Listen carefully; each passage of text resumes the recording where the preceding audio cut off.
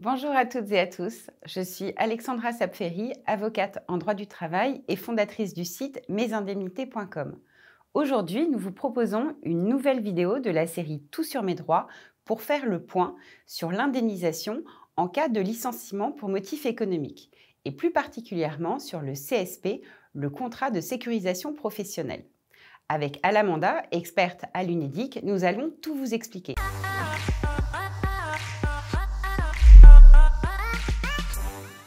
Bonjour Alamanda. Bonjour Alexandra. Peut-on rentrer tout de suite dans le vif du sujet et peux-tu nous dire s'il y a une indemnisation spécifique en cas de licenciement économique? En cas de licenciement économique, le salarié qui vient de perdre son emploi peut bénéficier du CSP, le contrat de sécurisation professionnelle. Il s'agit d'un parcours d'accompagnement renforcé et personnalisé en fonction du projet professionnel du demandeur d'emploi. Il n'est pas obligatoire et le demandeur d'emploi peut choisir d'être indemnisé via l'AR, l'allocation de retour à l'emploi classique. Ok, tu parles de parcours d'accompagnement renforcé. Qu'est-ce que ça veut dire concrètement? Concrètement, l'accompagnement proposé dans le cadre du CSP comprend des entretiens réguliers et un plan de sécurisation professionnelle personnalisé en fonction du projet de chaque bénéficiaire. Celui-ci peut notamment intégrer des formations pour se spécialiser ou pour se reconvertir. Les bénéficiaires du CSP ont d'ailleurs le statut stagiaire de la formation professionnelle. Tu disais tout à l'heure que le CSP n'est pas obligatoire euh, pour les salariés, mais est-ce que tous les salariés licenciés pour motif économique peuvent bénéficier du CSP Pas tout à fait. Le CSP concerne d'une part les salariés des entreprises de moins de 1000 salariés et d'autre part les salariés d'entreprises en liquidation ou en redressement judiciaire. Dans les entreprises de plus de 1000 salariés, les licenciés économiques peuvent quant à eux bénéficier d'un congé de reclassement. Ok, est-ce qu'il existe d'autres conditions? Oui, pour bénéficier du CSP, il faut comme nous venons de le voir, faire l'objet d'un licenciement pour motif économique, mais il faut également avoir travaillé au moins 4 mois, soit 88 jours au, cours des 24 derniers mois, ou 36 derniers mois pour les salariés de plus de 53 ans, ne pas avoir atteint l'âge permettant de bénéficier d'une retraite à taux plein, résider en France, sauf à Mayotte où un dispositif spécifique existe, et être apte à exercer un emploi.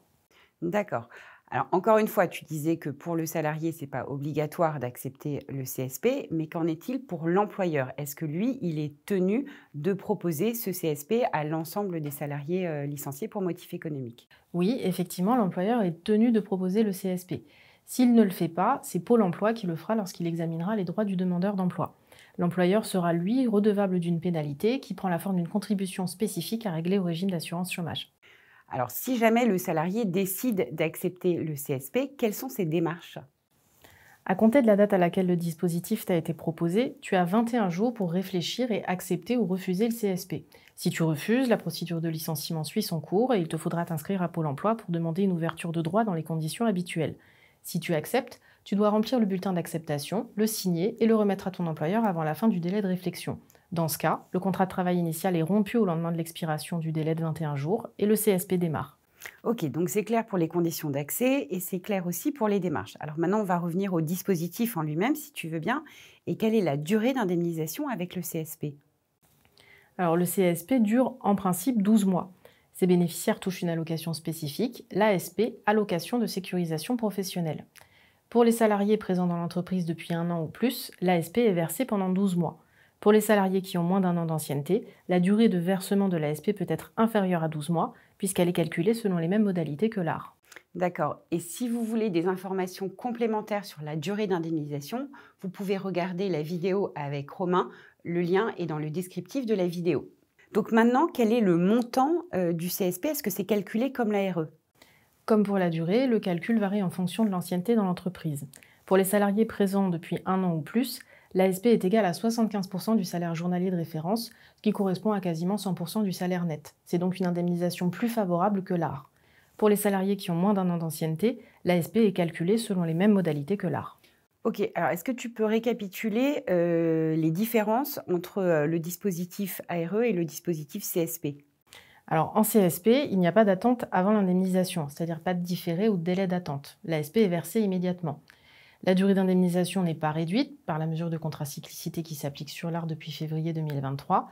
Et également, pour calculer le montant d'allocation versé en CSP, ce sont uniquement les périodes d'emploi ayant conduit au licenciement qui sont prises en compte. Cela signifie que le SJR servant au calcul de l'ASP ne tient pas compte des éventuelles périodes d'intercontrat, contrairement à l'art. Enfin, pour les salariés qui ont perçu des salaires mensuels supérieurs à 4 800 euros, il n'y a pas de dégressivité qui s'applique, alors qu'en art, leur allocation sera réduite au bout de 6 mois.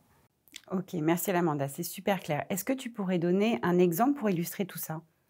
Alors oui, on va prendre l'exemple de Rose. Elle a été licenciée pour motif économique d'une entreprise en liquidation où elle travaillait depuis deux ans. Le jour de son entretien préalable au licenciement, son employeur lui propose le CSP qu'elle accepte. Son ancien salaire était de 3 000 euros brut par mois et Pôle emploi a calculé que son salaire journalier de référence correspondait à 98 euros. En optant pour le CSP, son allocation équivaudra à 75% de son salaire journalier de référence, soit environ 2200 euros par mois, l'équivalent de son salaire net. Elle percevra donc 2200 euros pendant 12 mois. Si elle avait opté, pour l'art, son allocation aurait correspondu, dans son cas, à 57% de son salaire journalier de référence, soit un peu moins de 1675 euros par mois. Ok, merci beaucoup, c'est super clair. Alors j'ai encore une question euh, pour savoir, est-ce que je peux travailler quand je suis en CSP alors oui, à condition que l'activité professionnelle soit cohérente avec le plan de sécurisation professionnelle et validé par le conseiller référent. Quelques précisions sur la reprise d'emploi en cours de CSP. Durant les périodes d'emploi, le versement de l'allocation de sécurisation professionnelle est suspendu. La durée minimale d'une reprise d'emploi en CSP est de 3 jours et la durée totale des activités exercées durant le CSP ne doit pas dépasser 6 mois, sinon le dispositif s'interrompt.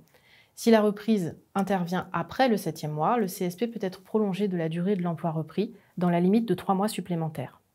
Et alors du coup, si je reprends euh, un contrat de plus de six mois euh, avant la fin euh, du CSP, ça se passe comment? Si le stagiaire reprend un emploi de plus de six mois avant le dixième mois de son CSP, il peut bénéficier d'une prime au reclassement qui sera égale à 50% des droits CSP qui lui restent et qui sera versée en deux fois, à la reprise d'activité et au bout du troisième mois s'il est toujours en emploi. À noter aussi que si le stagiaire reprend un emploi moins rémunéré durant son CSP, il peut demander à bénéficier d'une indemnité différentielle de reclassement à Pôle emploi. Elle compense la différence entre l'allocation perçue et le salaire de l'emploi repris et peut être versée durant 12 mois au maximum. Ok, et du coup j'ai une dernière question. Qu'est-ce qui se passe si je ne reprends pas d'emploi pendant mon CSP Si tu n'as pas retrouvé d'emploi au bout des 12 mois de CSP, tu peux éventuellement bénéficier d'une indemnisation au titre de l'art si tu en remplis les conditions. Merci beaucoup pour toutes ces explications. J'espère que vous êtes maintenant incollable sur le contrat de sécurisation professionnelle. Pour aller plus loin, vous pouvez regarder les questions-réponses de l'UNEDIC. Les liens sont dans le descriptif de la vidéo. Vous pouvez aussi consulter les autres vidéos de la série Tout sur mes droits et bien sûr vous abonner à notre chaîne YouTube. Si vous avez des questions ou des points à éclaircir, dites-le nous en commentaire, nous vous répondrons. À très vite